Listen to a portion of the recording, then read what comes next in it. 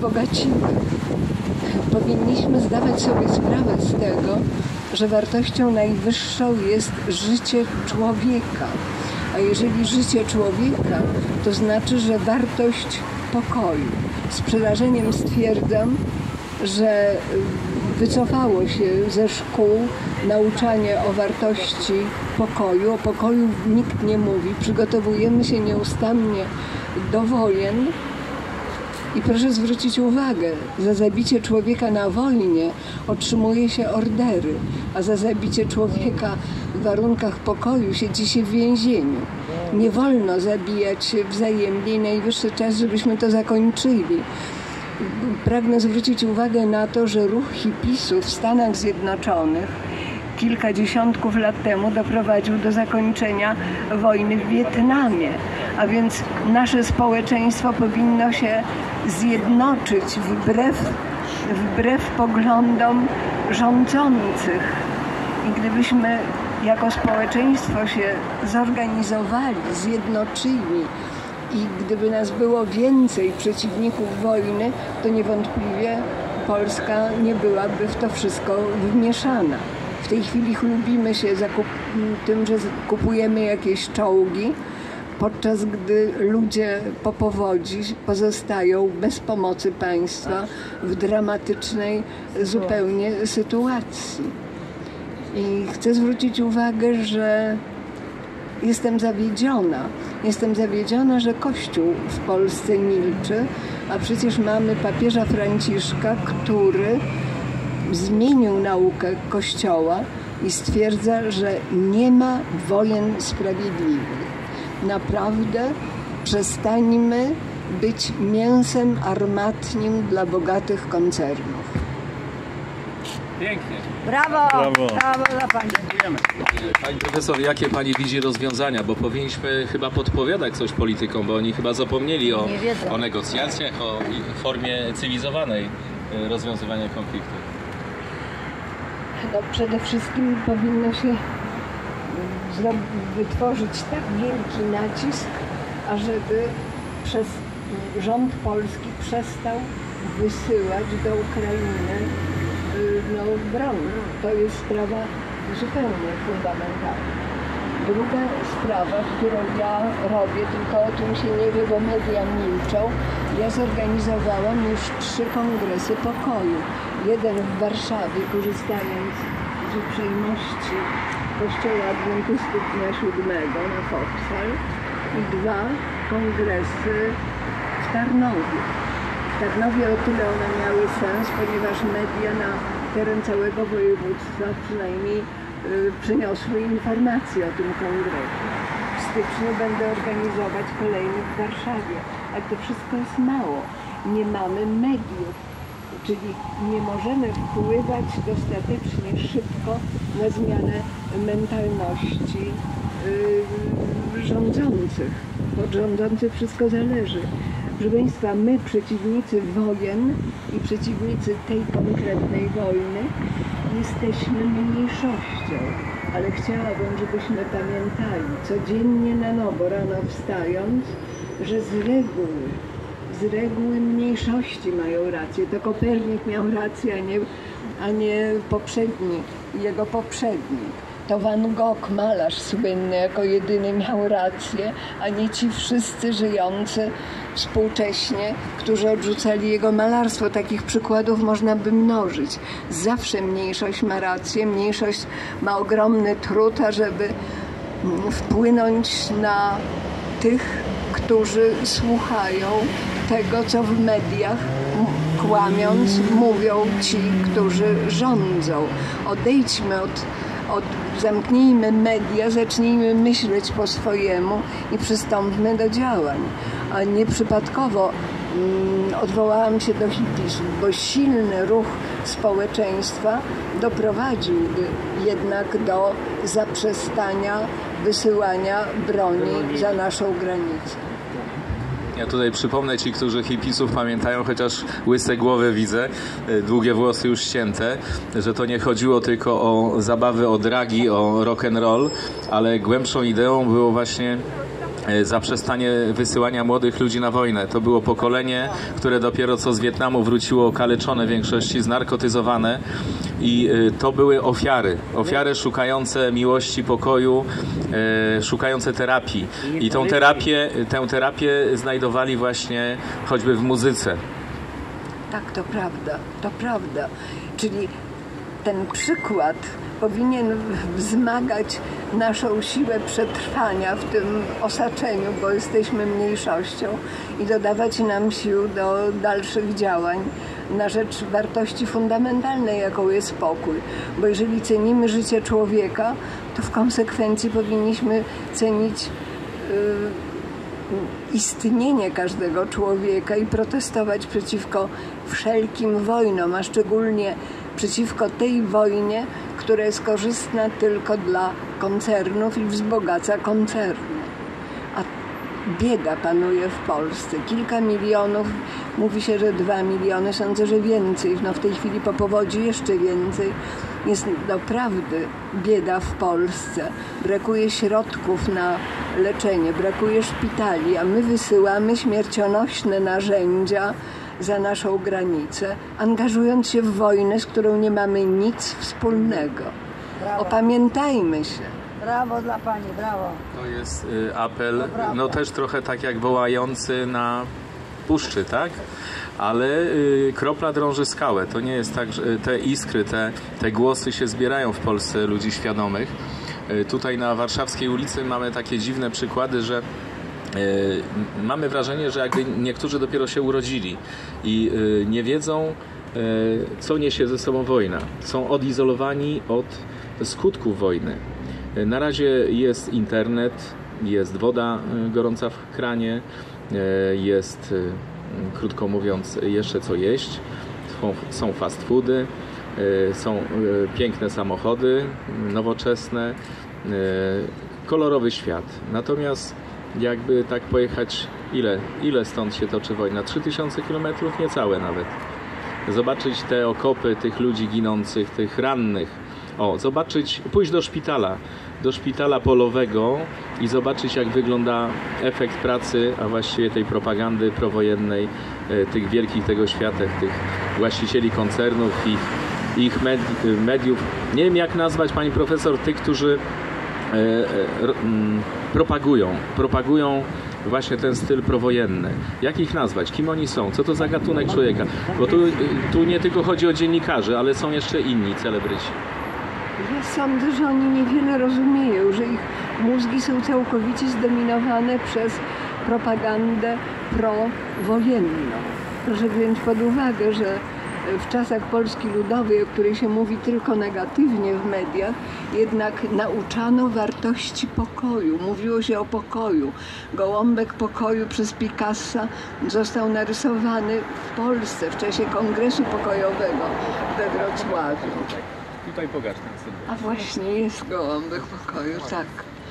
Natomiast w tej chwili wytwarza się atmosferę zgody na wojnę, aprobaty wojen, przyzwolenie.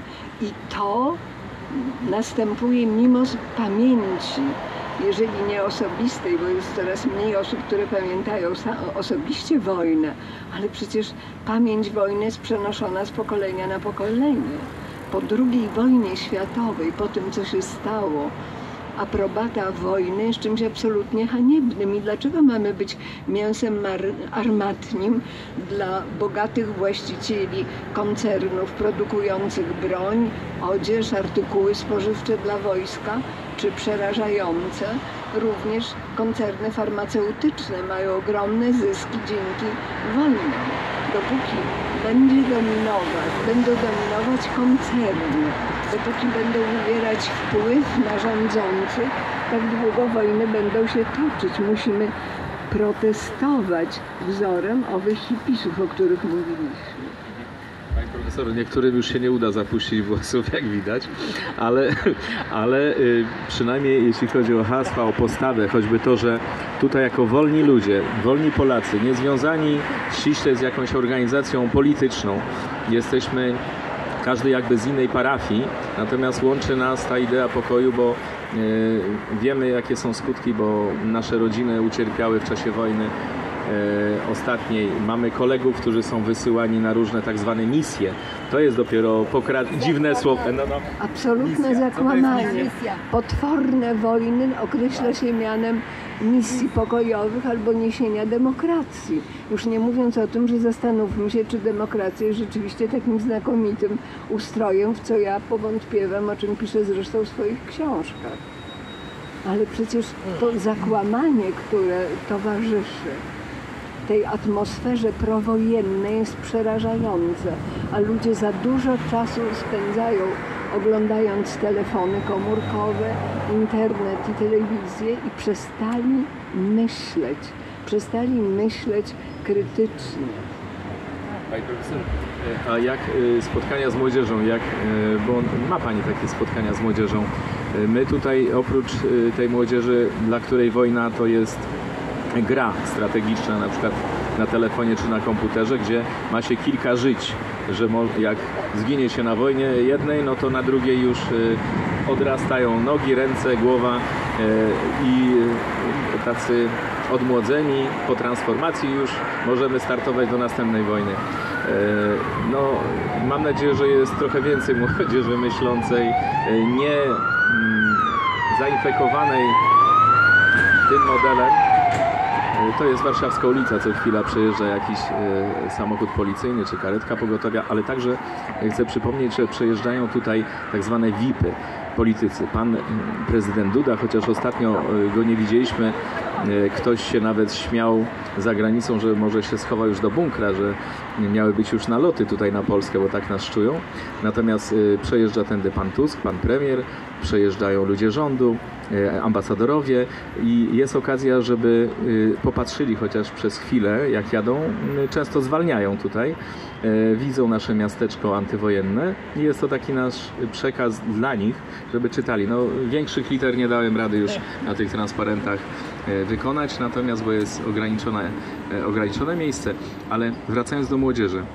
E, Spotykamy młodzież, która nie chce iść do wojska, nie chce iść za, za ten rząd się bić, ani za żaden inny rząd, zwłaszcza za Żeleńskiego i innych e, przestępców, bo uważają ich za przestępcami. E, Mamy taki pomysł, żeby tu zwołać konferencję pokojową i apeluję osobiście do pana prezydenta Warszawy, pana Trzaskowskiego, skoro potrafił kampus zorganizować, gdzie obrażano nas Polaków, w postaci wypowiedzi pana e, byłego, byłego już przypomnę, ministra spraw zagranicznych Ukrainy, e, że miała jakieś roszczenia wobec Polaków jeszcze i to terytorialne, na co by sobie na przykład prezydent Federacji Rosyjskiej nigdy nie pozwolił, ani Białorusi, ani jakiegokolwiek innego kraju, natomiast bezczelność tego pana e, przerosła chyba wszystkich, ale nikt nie reagował. Dlatego panie Trzaskowski, dajemy panu szansę wyjść z twarzą, że może pan coś dobrego dla historii zrobić, przejść do historii jako ten, który e, dał możliwości, a właśnie stworzył za nasze pieniądze oczywiście, bo przecież e, urząd miasta y, i prezydent y, miasta nie funkcjonuje z własnych pieniędzy, tylko ze spadków rodzinnych się nie utrzymuje, tylko z naszych pieniędzy podatników. I dlatego y, radzimy, żeby środki, które wydajecie na LBKT, na LPG czy, czy inne AGD, żebyście przeznaczyli na zorganizowanie warunków, stworzenie warunków na konferencję pokojową, na stworzenie przede wszystkim bezpieczeństwa dla wszystkich uczestników i przedstawicieli wszystkich państw zainteresowanych pokojem. Myślę, że wszyscy są zainteresowani pokojem, wszyscy zdrowo myślący. Y, Natomiast uważam, że trzeba pominąć tych, którzy zarabiają na wojnie. Nie wolno nam zapraszać ludzi, którzy podżegają do wojny. My natomiast możemy podżegać do pokoju tylko.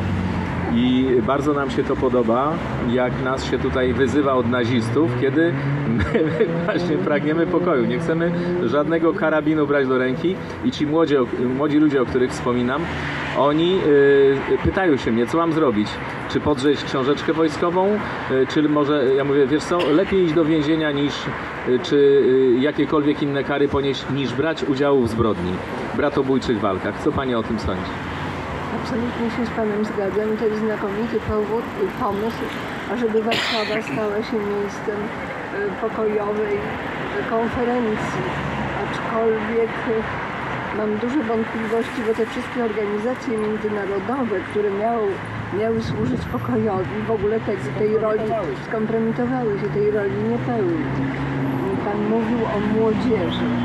Otóż jestem bardzo rozczarowana. Przecież mam każdego roku jakiś, jakichś nowych studentów, których informuję o tym, że istnieje, zresztą założone przeze mnie w 2008 roku, pacyfistyczne stowarzyszenie. Proszę sobie wyobrazić, że upłynęło sporo lat od 2008 roku, a do stowarzyszenia należy zaledwie kilkadziesiąt osób.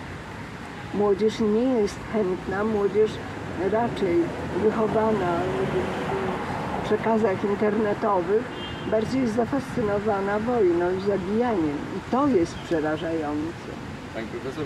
Ale chcę Panią pocieszyć, że ci, którzy właśnie otrzymują wezwania na Wojskową Komisję Uzupełnień, właśnie zmieniają bardzo szybko te, e, te przyzwyczajenia, bo nagle z tej rzeczywistości wirtualnej, e, kiedy się patrzyło w komputerek i oglądało się bzdurny jakiś idiotyczny film z Hollywood, nagle dostaje wezwanie i łącznie ze stawieniem się do konkretnej jednostki z przydziałem.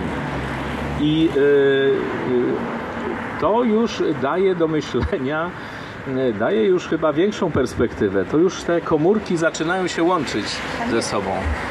Ja powiem jeszcze, że kultura obrazkowa, w której żyjemy, ona doprowadziła do tego, że zanika w nas wyobraźnia.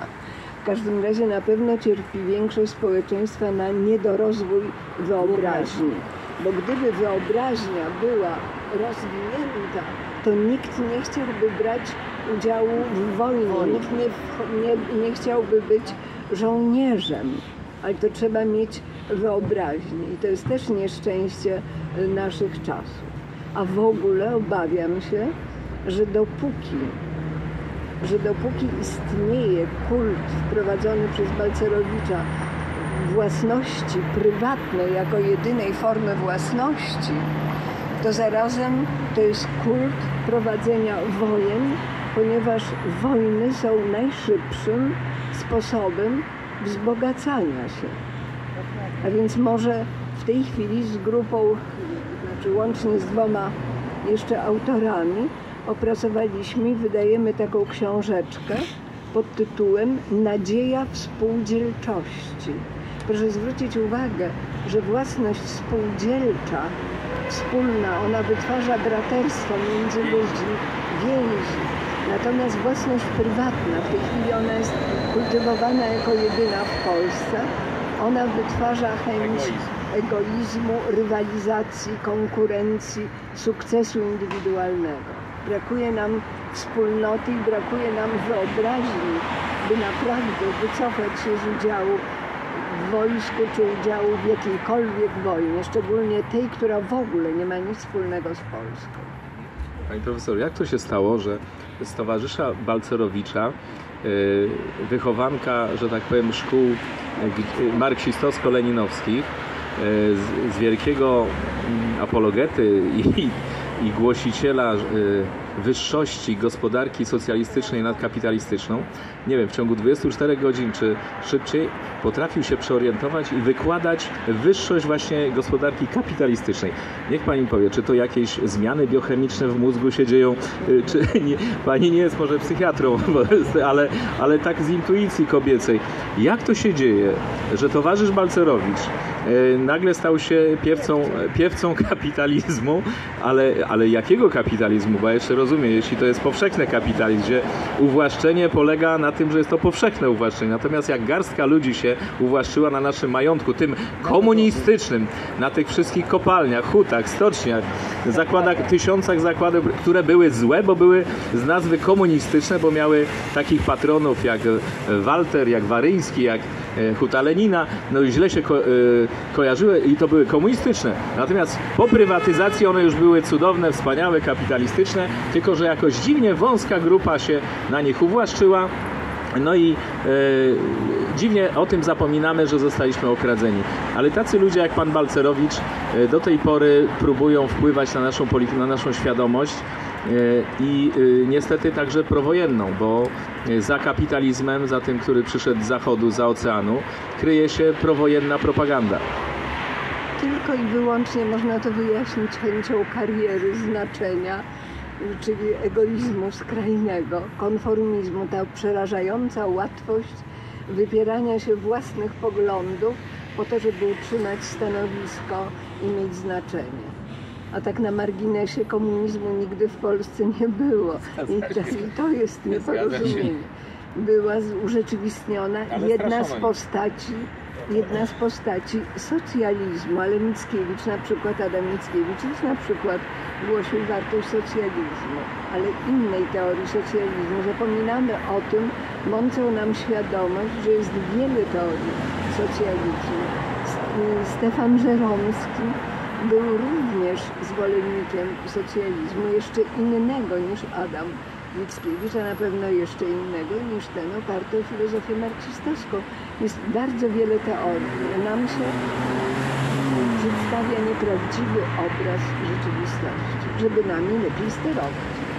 Tak, profesor, z mojego domu, z mojego podwórka, bo e, ja byłem wychowywany tak jakby właśnie w tym, e, z nazwy, antykomunizmie, bo opór stawialiśmy, że to jest narzucona nam obca władza. Natomiast zupełnie przewartościowałem swoje poglądy, widząc jak wygląda ten kapitalizm e, właśnie ten e, zachodni, bo mnie obiecywano, że jak Polska odzyska tą po 89 roku, po, po tych y, rozmowach okrągłego stołu, odzyska wolność, demokrację, że będziemy mieli y, wybory takie suwerenne i tak dalej, to będziemy opływać w dostatki, no i jeszcze Unia Europejska, wszystko razem. Okazało się, że y, y, pytałem się w rodzinie, czy zyskali na tej transformacji ustrojowej. Powiedzieli mi, że nie. Za Gierka, za Jaroszewicza, nawet za Gomułki już było im lepiej niż obecnie, bo wszystko obecnie jest na kredyt.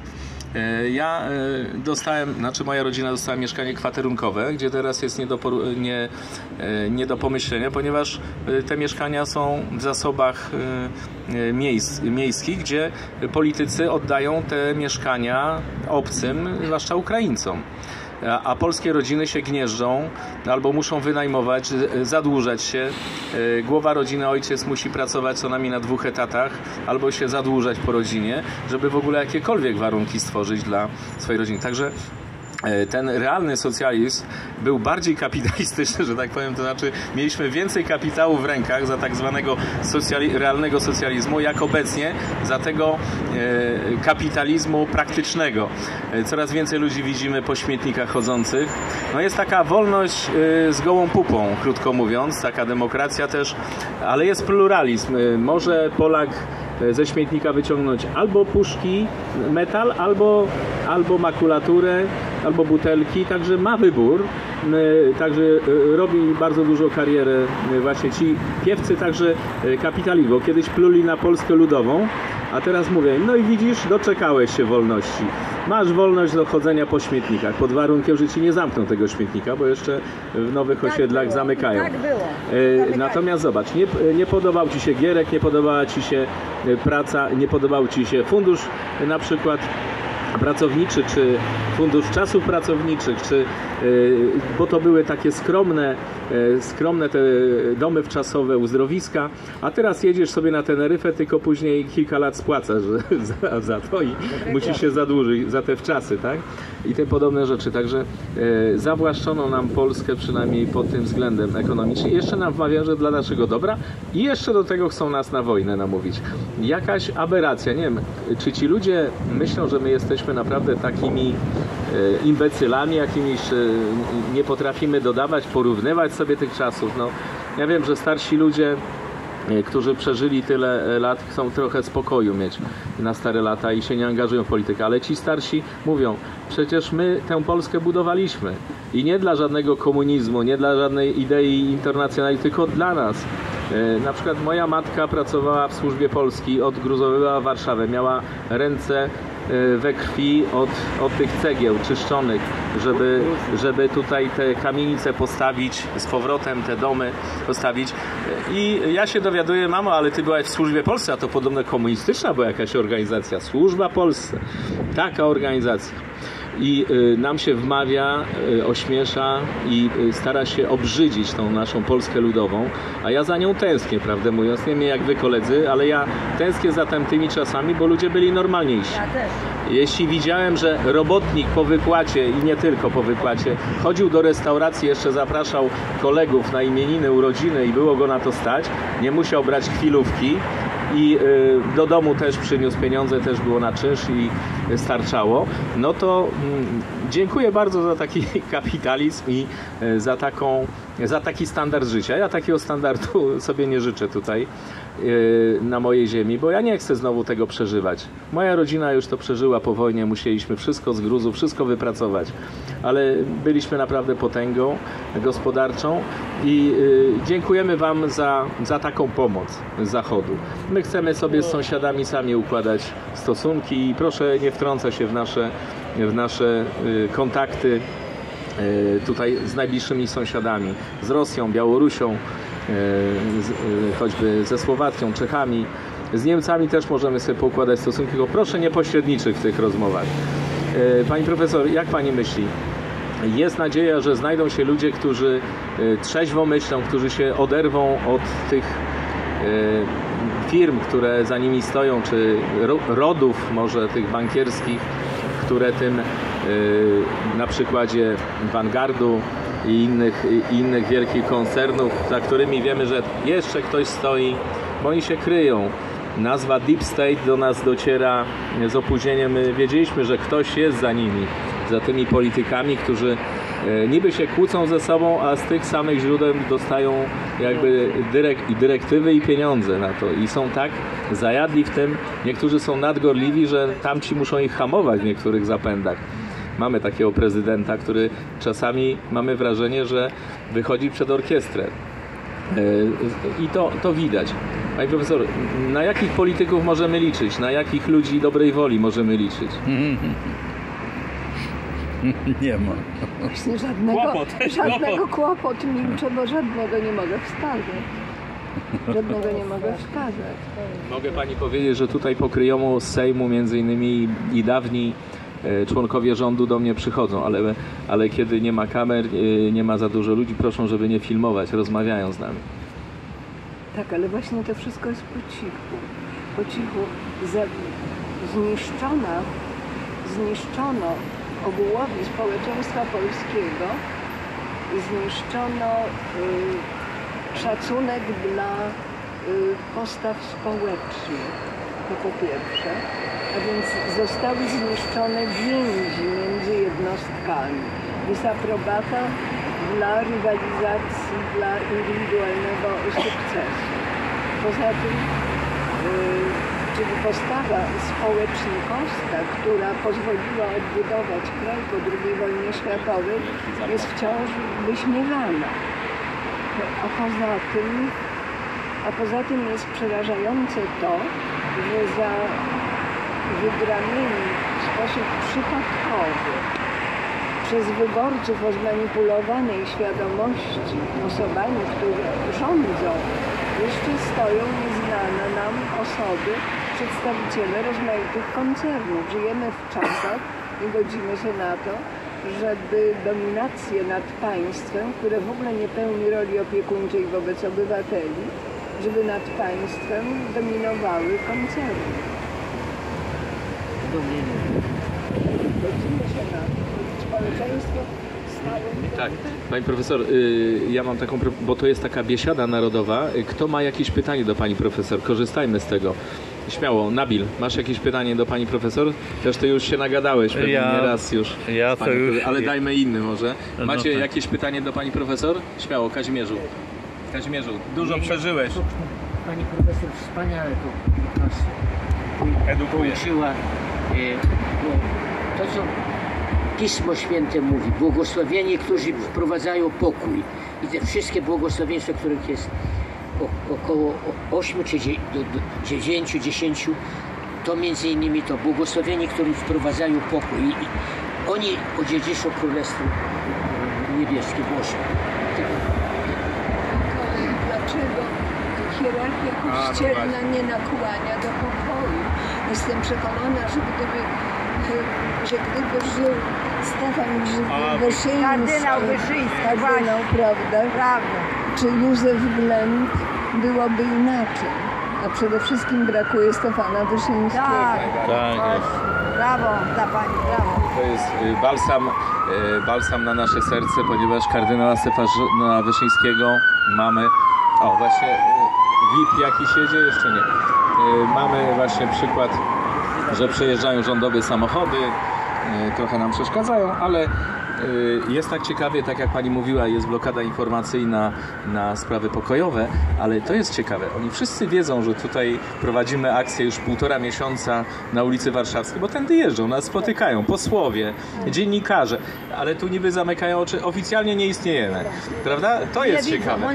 Ale kropla drąży skałę. Tutaj y, pan Kazimierz wspomniał, błogosławieni, którzy Wprowadzają pokój. wprowadzają pokój, słowa ewangeliczne. Natomiast wiemy, że na hierarchię nie ma co liczyć i to już mówił poprzedni papież Benedykt XVI, że odnowa Kościoła przyjdzie od dołu, bo na hierarchię nie liczcie, bo jest tak zdemoralizowana. To sam papież o tym mówił, zresztą został zmuszony do abdykacji, bo za dużo prawdy mówił, głosił zgodnie z Ewangelią. Natomiast możemy liczyć na dole, na niższych rangą kapłanów, tak jak zresztą wojsków i w całej administracji naszej cywilnej.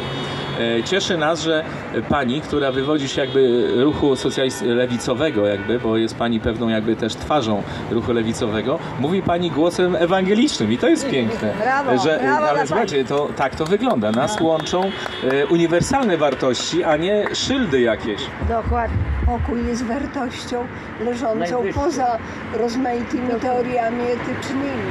Tak, prawda. Nas. Oczywiście.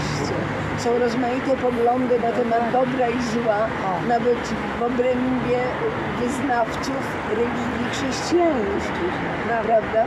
Ale pokój jest właśnie wartością tą taką nadrzędną, uniwersalną. Do tej lewicowości wrócę, bo ja próbuję polityków z różnych opcji, że tak powiem, tutaj y, zaprosić. Niedawno na tej ulicy była manifestacja PPS-u. Pan Piotr Ikonowicz szedł na czele, no i mówiło tam o, y, o sprawach bytowych. No i poprosiłem go, żeby się wypowiedział. Tutaj zapraszam do naszego miasteczka. Y, To uciekał, ale powiedział, proszę pana, pan pod złą ambasadą stoi. Powinien pan pod rosyjską stać. No, takie miał, takie podejście pan Piotruś miał, towarzysz Piotruś, no niestety. E, Czy niedouczony, czy po prostu e, zmanipulowany. Tak, właśnie. Manipulacja. E, Staramy się, no ale tak e, na przykład na prawicy, pan Wipler, też dzwonię do niego i też e, powinien pan pod ruską ambasadą. E, Nie będziemy pana popierać. Ale nie chodzi o mnie, bo to jest e, środowisko. Ja tylko organizuję. Natomiast tu jest wiele środowisk ludzi myślących, ale oddolnie. E, Nie mamy takich funkcji wielkich społecznych, ale swoim dorobkiem życiowym jakoś możemy świadczyć, że w dobrej sprawie stoimy. E, Przychodzą do nas, mówię, i profesorowie, i dzienni- dziennikarze, ale po cichu. Byli ministrowie, no, posłowie, kombatanci. Tutaj jest w pobliżu pałacyk kombatantów. Ikonowicz i Wipler to Komuna. Nie, nie, nie, nie to pojęcie. Poza tym absurdalne jest wmawianie Polakom i niestety siła sugestii mediów jest tak wielka i bezmyślność, że większość Polaków poważnie, poważnie jest przekonana, że Rosja, że Putin chce zagarnąć Polskę. To jest największy absurd, jaki może być. I, ca- I nasze społeczeństwo, jeżeli w ogóle jest zjednoczone na jakiejkolwiek bądź podstawie, fundamencie, to tym fundamentem stała się nienawiść do Rosji. A przecież kulturowo, kulturowo jesteśmy tak sobie bliscy. A poza tym Putin nie ma zamiaru zagarnąć Polski. Ja nie wiem dlaczego prawie wszyscy Ale media, media zrobiły swoje.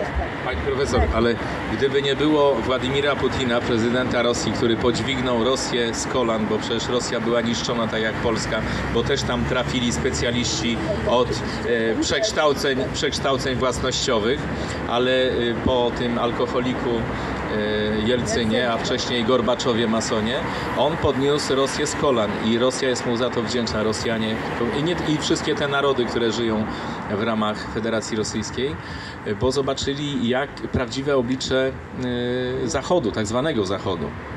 E, i e, nie pozwolą się rozkraść po raz kolejny, bo widzą jak my wyglądamy na przykładzie Polski i innych krajów Europy Środkowej, do czego doszło. E, Złamane zostały wszystkie umowy, które były za Gorbaczowa jeszcze podejmowane, że Związek Radziecki się rozwiązuje i te umowy związane choćby z bronią, z rozbrojeniem i co się okazuje miał być nie rozszerzany pakt północnoatlantycki na wschód, a poszedł tak głęboko, że już praktycznie przy granicy z Rosją e, instalowane były bazy wojskowe. Najpierw e, bazy e, służb specjalnych CIA, Mossadu, a nawet laboratoria wojskowe, biologiczne. Tak, tak, pomału to zaczęli wprowadzać. No i Putin niedobry, bo wprowadził wojsko, interwencja jest ograniczona wojennie, bo kilometr dziennie posuwają się żołnierze, dając szansę i to jest ciekawe. Zobaczcie, y, każdego dnia kilometr dziennie, ale dając szansę tym żołnierzom, którzy zostali uwikłani w wojnę, do ucieczki albo do poddania się. Y, tego na świecie nigdy nie było, a przecież wiemy, że Rosja ma w posiadaniu olbrzymi potencjał, łącznie z nuklearnym. Także jakby naprawdę był dyktatorem i y, zbrodniarzem wojennym, to by już dawno rozniósł y, pył y, te siły wojskowe, ale doskonale wiedzą, że tam są ludzie biedni, wciągnięci wbrew swojej woli do tej machiny, do maszynki do mielenia, do mielenia mięsa, tak zwanego armatniego. Pani profesor, pani ma tak zbieżne z nami poglądy, że aż się boję pomyśleć, że pani, krótko mówiąc, no, jest nasza. Nie, nie. My mamy, my mamy zbieżnie poglądy A, my mamy profesor. Pani profesor, chodzi mi o to, że e, tak jakby pani z, jedne, z jednego źródła e, jakby korzystała, a nas e, określają, że my jesteśmy onuce. Nie wiem, czy pani też, pani też była tak wyzwana. My jesteśmy Kaczapy, dzieci, nie, dzieci, dzieci Putina, tam dzieci, ci, którzy biorą, biorą pieniądze, ale w ogóle, jak? sługi Nie. Putina, ale nie, tu y, więcej było inwektyw, ale te onuce. e, Chcę przypomnieć, że onuce to bardzo dobry wynalazek e, w wojsku e, i kto wie, że skarpetki nie zdają egzaminu e, w, butach wojskowych grubych, e, ciężkich. E, Natomiast e, e, prób, e, próba jakiegoś merytorycznego podejścia do tematu.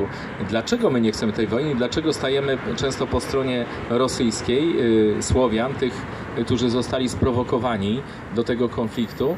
Nie ma dyskusji. Właśnie to jest najciekawsze, bo my bardzo chętnie porozmawiamy z tą drugą stroną, ukraińską, jakąkolwiek. Y, Bankiers uciekają, tylko wyzywają nas od y, tych sług Putina czy, czy agentów tylko jakoś dziwnie nie mają mm, potwierdzenia żadnego. My nadal pracujemy mm, samodzielnie, nie mamy żadnych, e, można powiedzieć, mm, wpływów Nikt nas nie z zewnątrz. Nikt nas nie finansuje z zewnątrz. W odróżnieniu od tych panów, od Właśnie. tych wszystkich fundacyjek, tych wszystkich różnych o dziwnych organizacji, łącznie ze świadkami Jehowy, bo Właśnie, tu chcę powiedzieć na ten temat, że Władimir Putin, władze Federacji Rosyjskiej pozbyły się świadków Jehowy, którzy okazali się agentami CIA, którzy doprowadzali do demontażu państwa rosyjskiego i udowodniono to i zostały skonfiskowane te majątki. Także nawet wykorzystują związki wyznaniowe, sekty do tego, żeby inwigilować y, i prowadzić destrukcję y, w państwie. My, my robimy, że tak powiem, swoje, czyli to, co czujemy intuicyjnie. Nie mamy żadnych dyrektyw, od razu chcę powiedzieć. Natomiast ta zbieżność Pani myśli z naszymi, to jest ciekawe. Czy Pani po, po no nie chcę, nie chcę tu sugerować, że po jakiejś ruskiej szkole jest, y, czy, bo, my, bo każdy z innej parafii. To jest ciekawe, ale musimy, mówimy w jednym, jednym głosem jakby. Właśnie. Raczej, Skąd to się bierze? raczej skończyłam, habilitowałam się w Kulu, O, proszę. No. a filozofię kończyłam w Akademii Teologii Katolickiej. Tak więc A jednocześnie poglądy socjalistyczne związane... Moja znaczy moja reprezentowana przeze mnie odmiana socjalizmu jest jeszcze inna niż te wymienione przykładowo Mickiewicza czy Żeromskiego. Mianowicie ja nawiązuję do podstaw filozofii Kanta i od lat głoszę wartość y, pokoju i wartość socjalizmu, ale innego y, niż ten, który był w Polsce urzeczywistniony, aczkolwiek widzę, zdaję sobie sprawę z dodatnich rozwiązań y, gospodarczych i społecznych czasów Polski Ludowej. Nikt nie był pozbawiony pracy, nikt nie był pozbawiony mieszkania i gdy ja po habilitacji nie mogłam wykładać na Uniwersytecie Warszawskim, bo mnie usunięto, to gdy zaczęłam wykładać, byłem, jestem rodowitą warszawianką, w Kielcach jako jedynym prawda, możliwym, możliwej uczelni, natychmiast mnie nieprawomyślnej przydzielono mieszkanie służbowe. Chociaż wiadomo było, że jestem nieprawomyślna. No brawo pani komendant, brawo. E, My też, my też jesteśmy ci nieprawowici, bo nieprawomyślni, bo nam się PRL bardzo podobał. E, To, że miała przywo- przymiotnik ludowy nam wcale nie przeszkadzało. Na pewno nie była to Republika Radziecka, wprost przeciwnie, mieliśmy olbrzymią autonomię, natomiast był sojusz, było RWPG i bardzo korzystne dla nas wbrew pozorom. E, Wmawiano nam, że jesteśmy okradani przez Związek Radziecki, a teraz patrząc na tą współpracę z NATO, e, z tym układem północnoatlantyckim i patrząc na te rozliczenia i to, że na przykład dostajemy, pani profesor, pani sobie wyobrazi, widziała pani e, czołgi z papieru? Nie? A my właśnie widzimy, bo dostajemy faktury za czołgi, bo one jadą od razu tam na Ukrainę. Także czołgi z papieru. E, Tak samo mamy papierowych premierów, ministrów, choćby spraw zagranicznych, bo oni nie reprezentują. Polski? Na papierze są, jakoby minister Polski, tak? Minister spraw zagranicznych Polski Polski. Ale to jest tylko na papierze, bo tak w rzeczywistości wypełniają jakąś inną agendę, są lojalni wobec innych krajów czy firm, raczej firm, bo firm albo rodów. Po prostu pracują na zlecenie. Mam e, takie e, przekonanie, że za dużo jest aktorów, celebrytów, a za mało mężów stanu. A Właściwie brakuje mężów stanu, którzy by interes Bronili- Polski Polski. Mam kilku ludzi takich e, solidnych uczciwych, którzy ciężką pracą się wykazali. E, Między innymi chcę e, przypomnieć tutaj Mariana Banasia, który stanął na straży prawo, praworządności w Polsce. On właściwie uchronił państwo polskie przed totalną e, e, e, anarchią. Bo mimo wszystko najwyższa, Izba Kontroli sporządza raporty, robi, robi te wszystkie, stara się przynajmniej wejść i robi kontrolę w instytucjach państwowych, a nie do wszystkich jest dopuszczane, to jest ciekawe. Do spółek Skarbu Państwa dziwnie jakoś nie, chce być, e, nie chcą być dopuszczani e, kontrolerzy, urzędnicy państwowi. No i wyobraźcie sobie, że Marian Banaś stał się persona non grata w swojej partii takiej rodzimej, tej, która go e, lansowała i e, predysponowała do, do władzy. No i się okazało, że on bardziej lojalny jest wobec Polski, jak wobec pana prezesa. No i teraz jest, e, nie, e, nie jest mile widziany. Rozmawiałem z nim, no ale co z tego? E, skoro także i u nowej władzy też nie jest mile widziany, bo widzi u jednych i u drugich te same mechanizmy grabienia, ograbiania Polski w imię e, niejasnych interesów. No i zobaczcie, pan e, prezes Najwyższej Izby Kontroli, e, człowiek, który ma władzę jeszcze może przez rok czasu, tą właśnie związaną z niezależnym organem sądowniczym jakby, kontrolnym, składa raport w Sejmie i nic się nie dzieje na temat rozkradania Polski. Żaden pan minister spraw sprawiedliwości czy, czy prokurator nie nadaje biegu sprawie. Zgłasza e, marnotrawstwo, m, grabież, złodziejstwo totalne, korupcję i nic się nie dzieje z tym. I co z tego? No właśnie, nie ma dobrej woli ludzi, którzy są chyba do tego oddelegowani. Są ministrami tych resortów, choćby i siłowych, i, i e, zwłaszcza minister, minister spraw minister spraw e, wewnętrznych czy minister Sprawiedliwości, ale widzimy, oba te stanowiska są zajęte przez ludzi, którzy y, bardziej są chyba lojalni wobec Ukrainy, swojej pierwszej ojczyzny jakby. Y, Bo obaj pochodzą z tamtych stron korzeni, korzeniami tam y, sięgają. Pan Bodnar, minister spraw y, minister sprawiedliwości i pan Siemoniak, minister spraw wewnętrznych obecnie. Te dwa siłowe są opanowane przez ludzi z tamtego, z tamtego kręgu kulturowego, że tak powiem. No, pan prezydent jest ponad, że tak powiem, e, wszelką e, klasyfikację, e, ponieważ jest tak nadgorliwy, że on czasami wyprzedza tę orkiestrę, która mu gra. A jak panie by takie banderowca? nie można, nie mogę tutaj dawać mu takie etykietki, natomiast widzę efekty jego niestety pracy, która, która sprowadza na nas niebezpieczeństwo właśnie konfliktu zbrojnego. W naszym prawie karnym, kodeksie karnym, podżeganie do wojny jest przestępstwem. I to nawet y, do kilkudziesięciu lat, jeśli nie nawet y, wcześniej do, dożywocie groziło za coś takiego. Powinno być dożywocie, od, trzech, od trzech lat, od trzech miesięcy podżeganie. Ale y, to jest przestępstwo. I ci ludzie sobie nic nie robią z tego prawa, które sami przecież y, y, głosili, y, legi, y, legislację przeprowadzali. Proszę bardzo. Prezydent Duda podpisał y, in vitro tą coś powinien zawetować to. Przecież to jest zbrodnia. ale mówimy, Ale, ale, to, ale no, to prezydencie mówimy. Tak, jeśli chodzi o sprawy związane ze e, zwykłym obywatelem, natomiast tu jest sprowadzanie groźby, konfliktu, który dotknie miliony ludzi. I to jest przerażające, że nie ma kogoś wśród nich, który by powiedział stop temu Tak, wariactwu, dosyć. temu szaleństwu. Właśnie. To się żałował. Ja mam ogromne nadzieje związane z rolnikami, z chłopami. To znaczy mam nadzieję, że oni mm, troszcząc się o swoje własne interesy, zarazem troszczą się o interesy narodu i tworzą jednak ogromną siłę.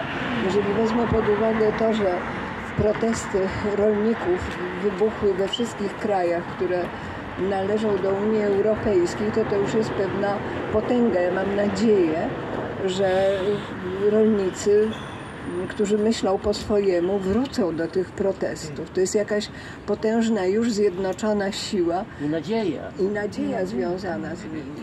Krótko mówiąc, pani profesor chciałaby chłopskiego rozumu doświadczyć. No tak, tak, dlatego że w przeciwieństwie do polskiej inteligencji chłopi nie mają czasu, żeby oglądać od rana do wieczora przekazy telewizyjne. No, niektórzy y, dali się złapać na tak zwane dopłaty, y, że za, nie, y, za nieobsianie pola oni dostają pieniądze, za to, że nie pracują. Ugor, ugor musi być. Y, Mniejszość, nie, nie, y, wiem, znamy i sam jestem gotów ucałować dłonie chłopa, który ciężko pracuje na roli, bo to jest y, żywiciel. Na odwagę protestować.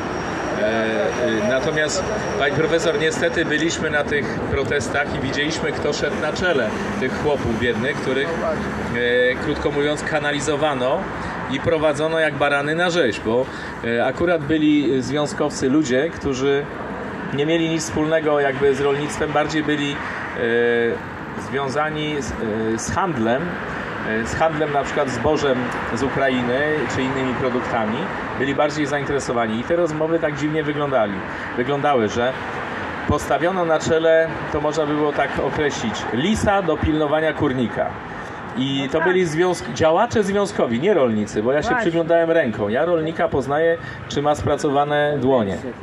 Natomiast jak widziałem takie wypielęgnowane i y, panów y, tak zwanych działaczy w ładnych garniturach i oni się y, na te rozmowy z rządem szykowali i później jeszcze się dowiedziałem, jakie interesy z Ukrainą prowadzą, właśnie nie z Ukrainą, z oligarchami i przedstawicielami tych agroholdingów, które przejęły ziemię na Ukrainie, najbardziej, y, najbardziej urodzajne ziemie w Europie.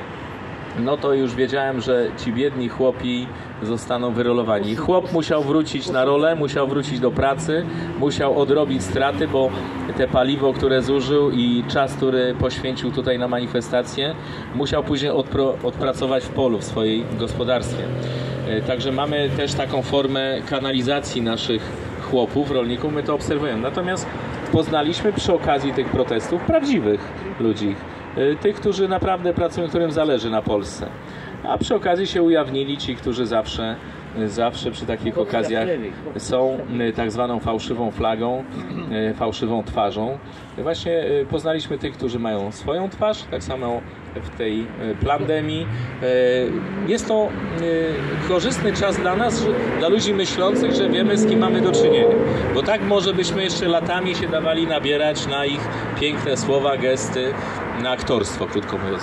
Wróć, wracam do tego aktorstwa, że za dużo tych aktorów, a za mało ludzi autentycznych, autentycznych, którzy mają swoją twarz, którzy mają jakiś pomysł, są prawdziwi, normalni którzy może nie, y, nie mówią tak ładnie, zgrabnie, jak są wyuczeni na PWE, na y, akademiach tych filmowych, aktorskich, ale są sobą. Y, I mówią o wartościach, o że zależy im na wyższych wartościach. Już teraz praktycznie nie patrzymy na szyldy, pod jakimi występują, tylko patrzymy na efekt ich pracy, co oni do tej pory zrobili. Bo to wszystko zostało jakby nam zdeklasowane i e, zdewaluowane. E, Słowo lewica, prawica już praktycznie nie funkcjonuje. W ogóle nie ma lewicy w Polsce. Bo co to za lewica, która aprobuje neokapitalizm? To jest komedia. Nie ma lewicy. No komedia, bo zobaczyliśmy, kto z lewicy się uwłaszczył na tym majątku. Nagle, e, jak zobaczyłem pana e, Wiatra, przypomnę, e, człowiek, który wykładał e, socjologię, e, był jednym z głównych profesorów e, na takiej uczelni marksizmu-leninizmu. Zobaczyłem go w Jaguarze bodajże, czy, a nie, to przepraszam, pana Kalisza widziałem w Jaguarze, natomiast pana Wiatra widziałem na e, pochód pierwszomajowy, przyjechał najnowszym modelem Mercedesa. Także było to dosyć, dosyć e, śmieszne, a zarazem tragiczne, bo to było lekceważenie tych robotników, którzy, e, którzy dopiero co składali na malucha albo na syrenkę wcześniej. Natomiast w łatwy sposób można było się uwłaszczyć majątkiem wypracowanym przez robotnika i cały naród.